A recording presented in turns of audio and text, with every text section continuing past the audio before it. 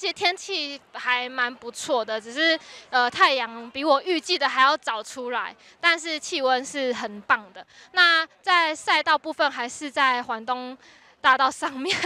有一点小崩溃，然后还有在呃河滨里面就是。折呃，里面折返有逆风，然后到出南京东路的时候也有一点逆风，然后这几个点是比较崩溃的点。今天的状态其实还蛮不错的，所以呃，在前三十 K 就已经预呃知道可以跑进两小时四十八这个目标，所以就是往两小时四十六去冲，但最后